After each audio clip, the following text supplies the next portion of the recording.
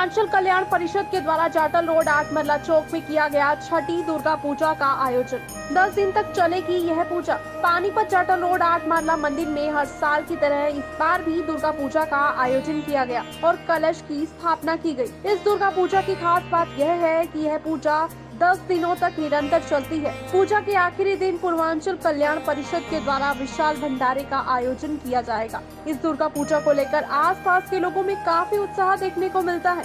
रात के समय यहाँ भजन कीर्तन का कार्यक्रम रखा जाता है। भक्तजन भजन कीर्तन में विलीन होकर दुर्गा माता के ध्यान में पूरी तरह से खो जाती हैं। पूर्वांचल कल्याण परिषद की तरफ़ से छठा साल दुर्गा पूजा मनाया जा रहा है। बहुत धूमधाम से पूजा मनाया जाता है।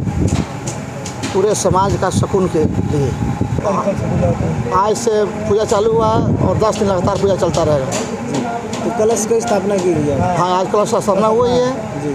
कल से अपना पूजा तो दस दिन चलेगी उसके बाद दस तारीख को मूर्ति का दस दस दस तारीख मूर्ति का वो निर्माण होगा यहाँ पे। जी।